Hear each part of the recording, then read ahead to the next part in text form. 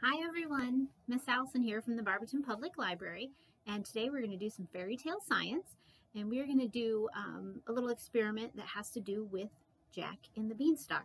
Got a couple books here. Um, this is a little easy reader version of Jack and the Beanstalk. You can check any of these books out here at the library if you'd like. This is a fun Jack and the Beanstalk um, that actually has pictures of real people in it. You can see this be this giant beanstalk and this little boy climbing up it. So that's another fun one. And then this is a fun graphic novel that's kind of a take on Jack and the Beanstalk. It's called Mighty Jack. Um, it's the first book in a series. And Jack doesn't necessarily plant a beanstalk in this one, but he does um, have a garden. So that's another fun one to read. So here's my beanstalk. All right. Here's little Jack. Okay. And the story goes that Jack and his mom had to sell their cow because they didn't have enough money to buy food.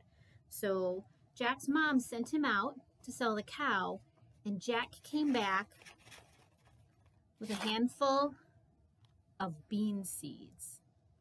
Now, Jack's mom was a little upset with him because he sold a whole cow and all he got was a handful of bean seeds. And bean seeds take a long time to grow. I started this seed about eight days ago. And as you can tell, it's just got the, the stem coming down and some roots. And just right here, I noticed today there are some little leaves starting to come out. That was eight days ago. How long do you think it's going to take before this grows beans that I can eat? It's going to take a little while. So you can see why Jack's mom was upset. They didn't have any money to buy food, and Jack just wasted the cow for a couple of bean seeds that wouldn't be ready to grow beans for a month or two. So Jack's mom threw the bean seeds out the window. But what she didn't know was that they were magic beans. And so a beanstalk grew. This isn't a beanstalk, this is a house plant, but it's a nice vine because it takes too long to grow bean seed. So Jack climbed up the beanstalk, up into the clouds, and found the house of a giant.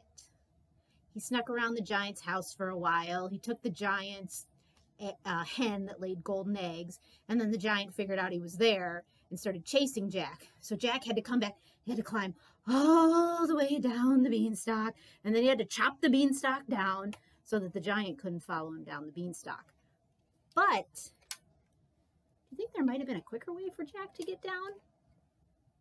You think if maybe Jack had taken a parachute with him, he could have gotten down a lot faster?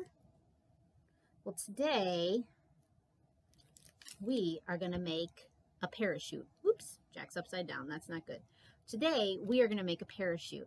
And if you stop by the library this week, the week of July 6th, you can pick up a take and make craft bag that has all the supplies you need in it to build your own parachute. Or I'm going to tell you about some different stuff you can get from home to build a parachute. So this parachute that I made that's going to be in the bags that you pick up at the library is from a piece of plastic. But you can also use a plastic bag. You could cut up a plastic bag if you've got one of these at home. Um, you could use a piece of paper towel you could even use a piece of fabric. So what you want to do is you want to get a ruler and you want to cut your piece of plastic or your paper towel or your piece of fabric. You want to cut it so it's eight inches by eight inches. All right, and that's how big this piece and this piece already are. Now, if you want to make a bigger parachute, you can make it bigger if you want. Just, just remember the inches because what you're going to do is you're going to cut two pieces of string and the string has to be double the number of inches that the square is. So if the square has an 8 inch side, 8 plus 8 is 16. So you have to have a, a piece of string that's 16 inches long. So it's twice as long as your square. So if you wanted to make a parachute that was 15 inches, a bigger parachute, you would have to cut a string that was 30 inches. All right, so there's a couple different things you can do to get the string attached to the parachute. um, you can tie, I don't know how hard this is going to be to see because this plastic is clear, but you can take a corner of your plastic and you can tie a little knot. It's a little slippery, so you have to be careful.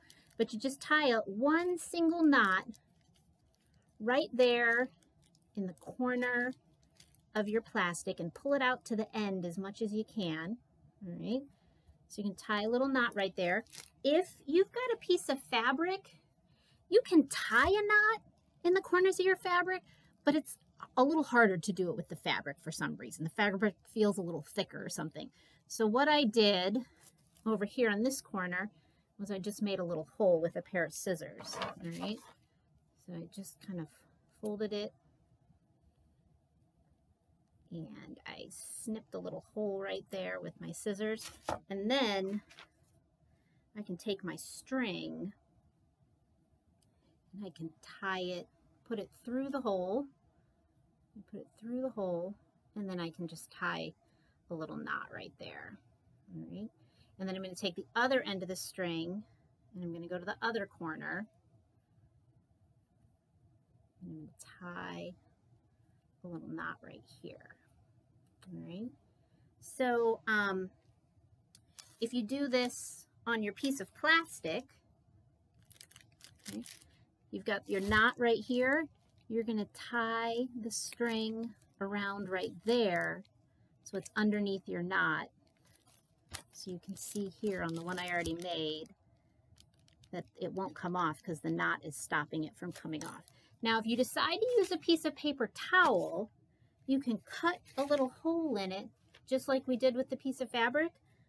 But it's probably a good idea to take a piece of tape and put it over the hole so that it doesn't rip because paper towels aren't as sturdy as a piece of fabric. So you put a piece of tape right here on the corner and then you'll cut a little hole over top of the tape and that'll keep it little hole right there.